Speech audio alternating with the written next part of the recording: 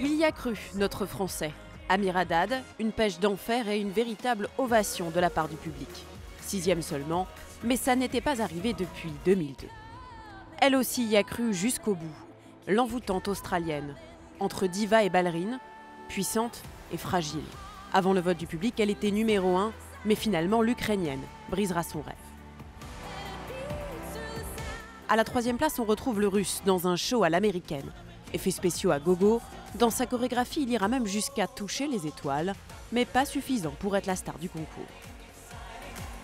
Tout en discrétion, maintenant place au jeune Suédois, bien loin du style zlatanesque, 17 ans seulement, avec un titre rempli de bonne humeur qui lui vaut la cinquième place.